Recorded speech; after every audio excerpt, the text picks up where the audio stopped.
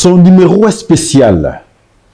Très spécial parce que il est réalisé euh, dans des heures non prévues, en urgence. Simplement pour mettre euh, au parfait des informations tous les membres de la communauté, communauté pro-info à travers euh, notre émission Lecture politique. C'est aujourd'hui que le bureau définitif en fait de l'Assemblée nationale sera installé. Cette information nous a surpris parce qu'hier, nous vous avions dit que le rapport du présidium a été transmis depuis le lundi soir au président de la République. Et voilà qu'on se réveille le matin, déjà hier soir, un communiqué a été pris par le premier secrétaire du bureau d'âge de l'Assemblée nationale, annonçant la plénière aujourd'hui à l'Assemblée nationale avec comme objet élection et installation du bureau définitif. Nous nous sommes dit, ça c'est extraordinaire, nous encourageons parce que nous pensions que cette élection interviendrait vers la fin de la semaine. Mais pourquoi aujourd'hui? C'est parce que le chef de l'État s'est imposé il a dit, vous devez aller aux élections aujourd'hui.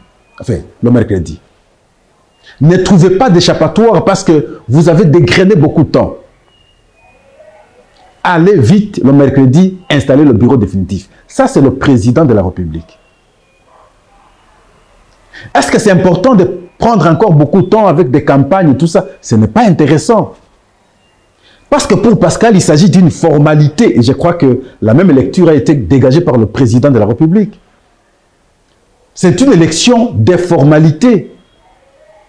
Parce qu'il n'y a pas une vraie compétition. On va juste entériner ce qui a été déjà choisi par le bureau, c'est dans le présidium. C'est aligné de cette manière. Président de l'Assemblée nationale, Vital Kamere, il est seul. Premier vice-président de l'Assemblée nationale, Jean-Claude Chilumbaï, il est seul. Deuxième vice-président, Christophe Mbosso, il est seul. Le rapporteur, Jacques Joly, il est seul. Le rapporteur adjoint, là c'est pour le compte de l'opposition. Là, il y aura Madame Munongo et Constant Moutamba. L'orchesteur, c'est Chimène Polipoli elle est seule. Questeur adjoint, Grâce Nema. Je pense que c'est une femme. Elle est seule. Donc, c'est une formalité. Pourquoi on devrait alors passer le temps inutilement? Et voilà, le chef de l'État a dit, vous devez aller organiser cette élection le mercredi, installer le bureau définitif. Le non-dit dans tout ça, c'est que on veut rapidement, au cours de la semaine, sinon au courant de la semaine, avoir aussi leur gouvernement. Je comprends probablement que d'ici dimanche, nous aurons le gouvernement. Et voilà, cette élection s'organise aujourd'hui à l'Assemblée nationale. Et nous avions bien voulu vous informer déjà avant.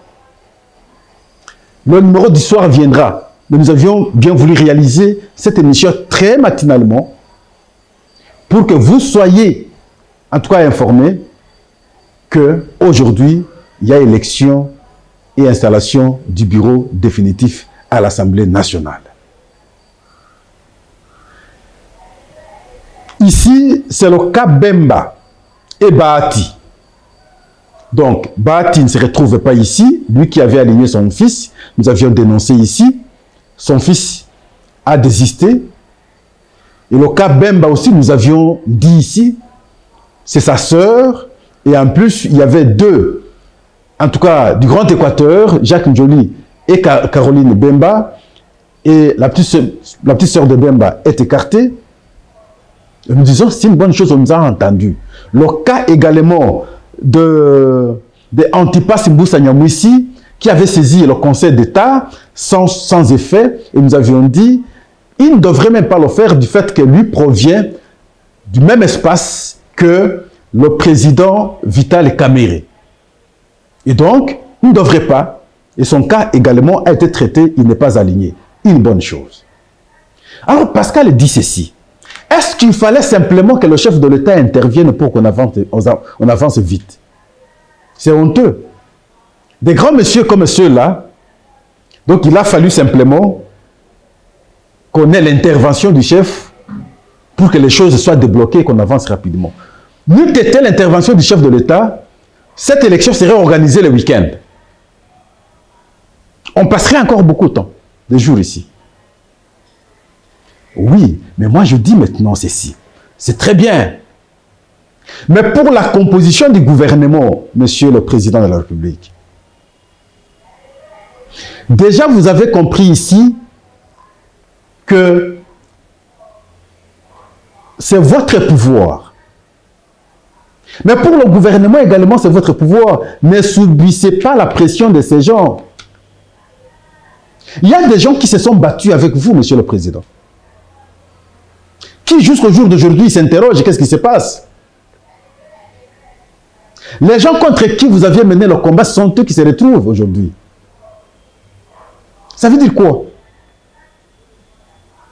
À ce moment-là, est-ce que votre l'appui sera conséquent Ils vont vouloir vous ramener vers le bas, ils vont vouloir voir votre échec. Vous avez des vrais collaborateurs qui ne sont pas servis jusqu'ici, qui se sont battus avec vous. Qui savent que lorsqu'ils posent un tel acte, c'est pour l'intérêt de la communauté, c'est pour l'intérêt de tout le monde. Qu'ils ne vont pas vouloir voir votre échec. Mais ils sont là. Est-ce qu'ils ne peuvent pas intégrer le gouvernement?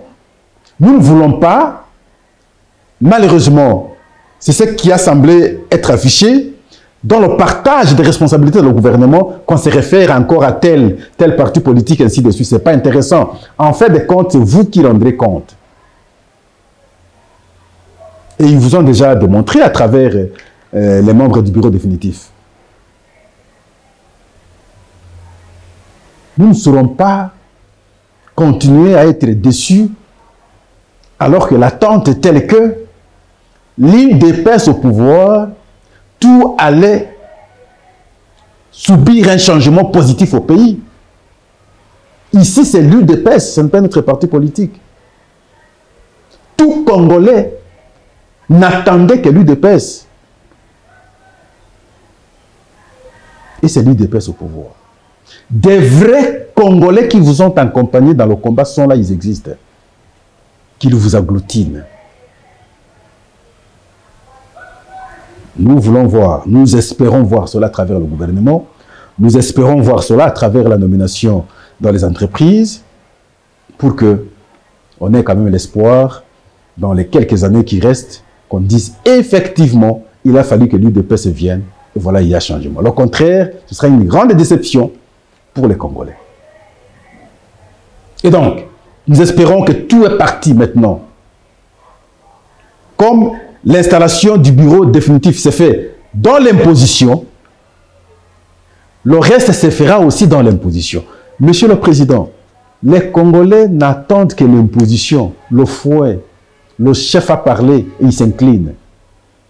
La démocratie au modèle occidental, non, ça ne passe pas chez nous. Voilà pourquoi vos décisions sont très attendues pour débloquer la situation actuelle au pays. Quand vous observez plus, tout en laissant place aux autres au nom de la démocratie, vous vous desservez.